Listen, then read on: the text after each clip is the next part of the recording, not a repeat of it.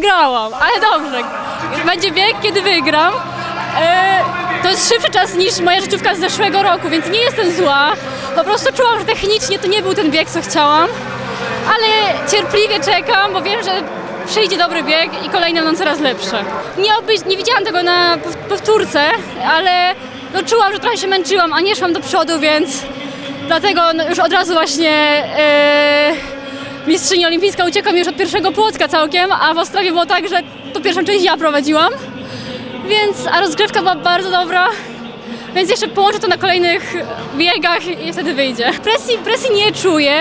W Ostrawie też spotkałam kibiców z Polski, więc bardzo dobrze się czuję. Ja wiem, że to jest moja rodzina, moje siostry, więc po prostu jest milej, milsza atmosfera, po prostu czuję się, że jestem u siebie. No szkoda, że bez życiówki, ale jest początek sezonu ciągle, więc nie jestem zła. Sportowo w tym sezonie naprawdę jestem bardzo pewna siebie. Jestem też cierpliwa, a normalnie to zawsze byłam taka trochę spanikowana, jak coś nie szło.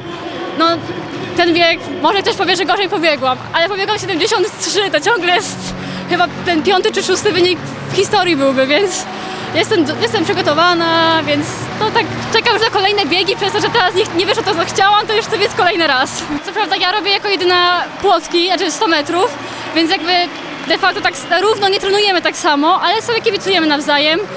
W styczniu byłam na obozie, z, między innymi była też Nadine Visser, no ale wtedy nie biegałam płotków, więc nie miałam możliwości z nimi potrenować.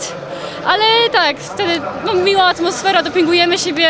Tutaj też dziewczyny mi pisały z Holandii y, powodzenia przed zawodami, wiem, że też oglądają i sobie kibicujemy, oglądamy siebie nawzajem. No, jak myślę o finałach Mistrzostw Świata Europy, no to myślę o tym, więc chcę, no właśnie dlatego przegrałam tylko z tą mistrzynią olimpijską, ale kiedyś chcę wygrać z nią, więc wiadomo, że no, jej poziom jest fenomenalny w zeszłym roku i w tym roku. To jest poziom 12, 30, 40, a może nawet rekord świata może u niej paść, więc wiadomo, w tym roku aż tak się do niej nie porównuję, ale po prostu dążę do tego. No, na pewno tam celuję wysoko, no już chcę po prostu progresować z roku na rok.